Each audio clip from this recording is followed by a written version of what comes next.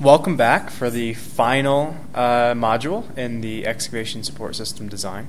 Um, we just wrapped up finding the point of maximum moment. Uh, so let's take a look at this diagram here. Um, what we found was that the pressure, uh, the active pressure on the retained side of the excavation, uh, that is all of the soil down to point Y, okay, uh, was uh, equal to the the, the passive pressure, the resultant of the passive minus the active pressure, in that zone you see labeled X. That would be below Y all the way down to point X. Um, what we ended up solving for was to find that the area PA1 uh, H, this this first triangle, plus the second triangle there uh, down below, which was P, is PA1 to Y, uh, is equal to um, this triangle that is uh, with the with the height of x there below y. Uh, what we what we ended up finding there was that is the area where we have zero stress. It also corresponds to the area where we know we have our maximum moment. So our last step in this problem, in the whole process, is to compute the maximum moment, what that moment is, and then compare that to the capacity of the pile that we're given in our problem. So let's go back to our, our problem here and uh, go back to our original problem statement. And you can see here on the left-hand side, uh, we have these sheet pile properties of bending strength and a section modulus. And we need to use that information to compare to see whether or not our pile will be able to withstand the maximum moment or not.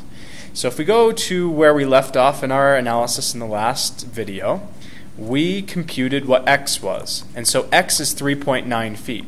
We also computed y, which is 1.30 feet. Okay? If we go back to our drawing that we were just working with, we can see that the maximum moment is going to occur below h, uh, below y, and at this point down at the base of x, which is close to but not the point of rotation. Okay, so we know all those dimensions now. Now what we need to do is sum the moments about point x on the pile. So let's do that. Um, oh, we'll maximize that again. My apologies. So our goal here, we found our distance x, is to find mx. That's the moment at x. Okay, we'll do that in general terms here in this PowerPoint, and then we'll do it in specific terms in our problem. So we know, based on our previous analysis, we need to find the area of this triangle and then find its distance away from point x. If we do that here, we know that our, our triangles, uh, are the area of our triangle, the total, the total force per linear foot of pile, is going to be h times the base PA divided by 2. That's the area of that triangle. And then the resultant force is at one third the base of that, tri- uh, one third of the height of the triangle from the base, uh, and then we add that to the, the depth y and the depth x to find its total moment arm there, uh, using the bottom there of point x as the reference point. That takes care of that triangle. Fortunately, now we know y, so we don't need to mess around with that trapezoidal shape anymore. Uh, we actually know the base and the height of that triangle, which is PA, uh, PA1 and Y. So it's going to be PA y, PA1 times y over 2. And then the uh, base of that triangle is actually going to be 2 thirds because it's only 1 third down from the, the base PA, uh, plus 2 thirds of y plus our height there, x. Uh, and then finally, we have our third triangle here, and this is the triangle there made at the base uh, where x uh, is. And we know that the uh, we know that the base of that triangle is the pressure at x, whatever that might be. We can compute that quite easily, uh, times one third the height x. So when we're finding the pressure there at x, um, what we really need to do is to consider uh, the balance between the active and the passive pressure, right? So uh, go, let's go back here to our diagram. And we know we need to compute that pressure x, okay, that base of that triangle.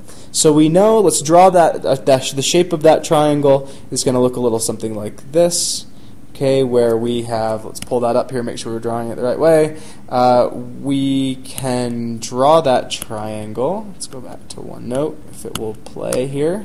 There we go.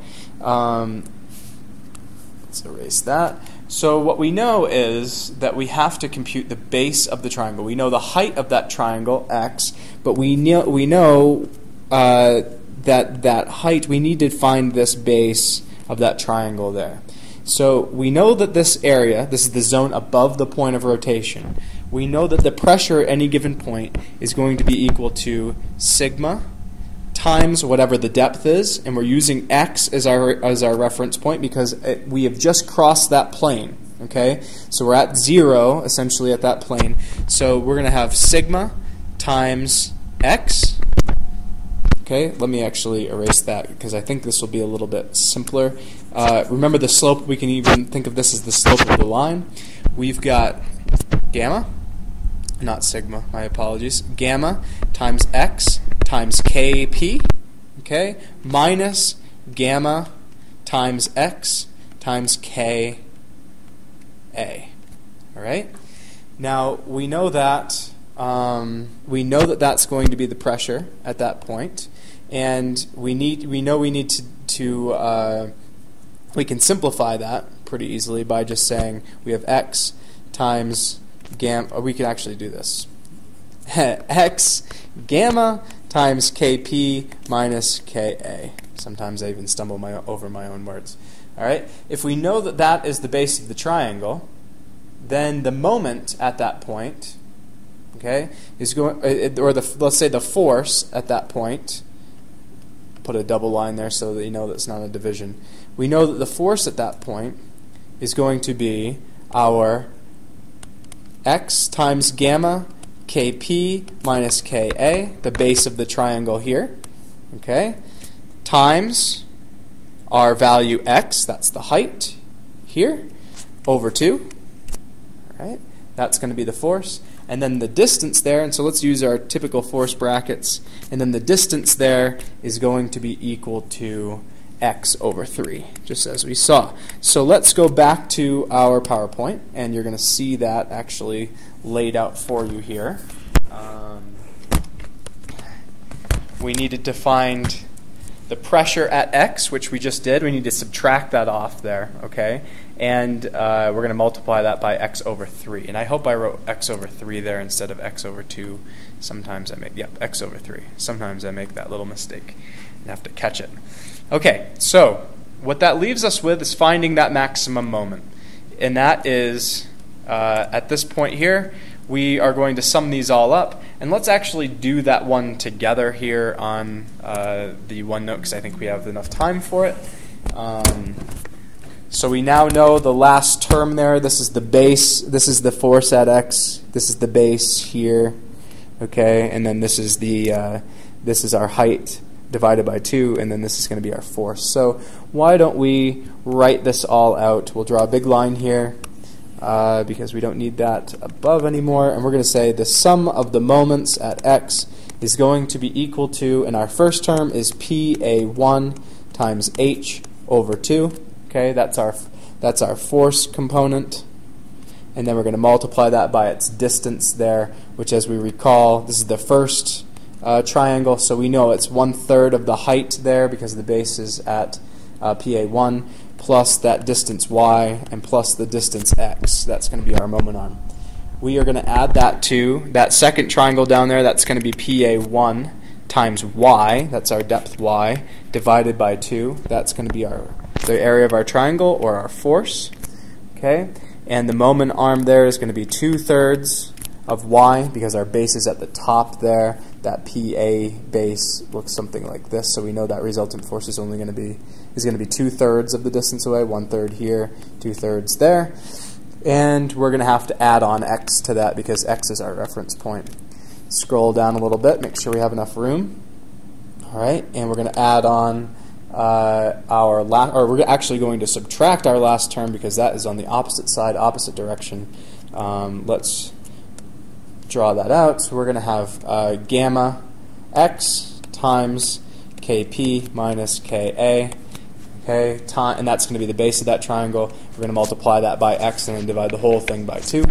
And that is going to give us the area of that final triangle whose resultant is at x over 3 distance from x. All of this needs to be equal to, is actually, sorry, not equal to 0 we're going to find out what that's equal to. This is going to be equal to m max, not 0, of course. All right, let's plug in our numbers that we have here. Hopefully we can do a little quick mental check and make sure that our numbers are correct. So I compute 416 as P sub A. 416 times our height of 10.5 divided by 2. And I'm going to multiply that by 10.5 over 3 plus our y, which is 1.3, plus our x, which is 3.91. Make sure that looks there. That's our first moment. Uh, that's our first moment. Our second moment is going to be 416 times uh, 1.3. Okay, that's going to be the, the y there divided by 2. And then our moment arm is going to be 2 thirds of y, which is 1.3, uh, plus our x, which is 3.91, running out of space there. Okay? And then our last moment that we're going to subtract is going to be a longer expression, which is 120, which is our, our gamma, uh, times 3 minus 0.33. That's kp minus ka.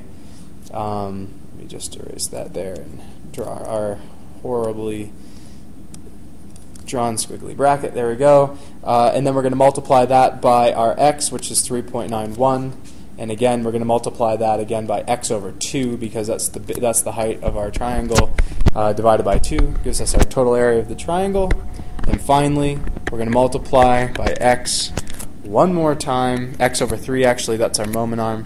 And what I end up getting is 17,100 17,105 foot pounds. Now, that is, we are almost there.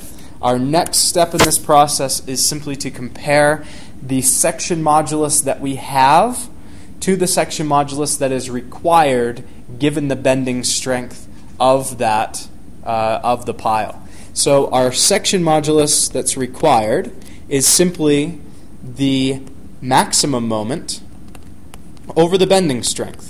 What this is telling us is the shape, the, the shape and the, the volume of material required at a given material strength and an applied maximum moment. Okay, the ratio of that is going to give us the required section modulus, that amount of material and the volume of material and the shape that it's in. Okay, so we have our 17,105 uh, foot pounds. All right, so that's foot pounds and we are going to multiply that, or in other words, divide it by 1 over 25,000 psi. That comes from uh, this point right here. Okay? Uh, and if we look at this, we've got pounds per square inch. Another way we could put this is we could say this is pounds and this is inches squared. Uh, we know that we need to make a um, an adjustment here because what we're looking for is inches cubed for S required. So we're just going to actually multiply this by 12 inches per foot.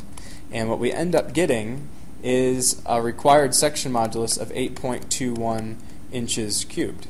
Now if we look at this, uh, we have an S required of 8.21 inches cubed. Uh, what we actually have for our S provided is 10.4 inches cubed. And if I look at that, S required is less than S provided, meaning we have enough material, okay, and in the appropriate shape. So therefore, we're okay. Our pile's good, so we can we can drive it about 10 and a half feet down into the soil the, the pile that we're given and the problem will be okay in bending and uh, in maximum moments. So we are actually a-okay to use that pile driven as we've designed. So that's actually the end of the, the sheet pile problems. We'll actually do some on, uh, on soldier piles and lagging, which is the same up until we get to this maximum moment piece, and then we do a slightly different analysis to compare to see whether or not our, our soldier piles and lagging are adequate. But we'll try one of those too. So I hope you enjoyed the process. Hopefully these videos are helpful. They take a while to make, so so hopefully everybody's making good use out of them. Um, and if you have any questions, either leave them as a comment or send me an email. All right? It's been a pleasure. Thank you very much.